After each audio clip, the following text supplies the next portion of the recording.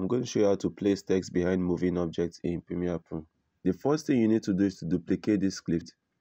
Next, select the top layer, right click and select replace with After Effects composition and this will automatically launch After Effects. Next, give this a name but I'm just going to go ahead and hit save and come over here and select the roto brush tool and double click on any portion on your subject to activate it and now you can begin to draw around your subject so I'm going to go ahead and fast forward this and once you are done if you have areas where it has selected that you do not want to select hold down alt and select that area to deselect it for example over here I'm going to hold down alt and select this area to deselect it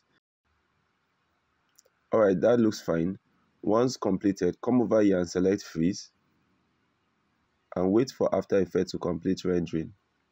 And in Premiere Pro, if I come over here and toggle off the bottom layer, you can see that the subject is completely deselected.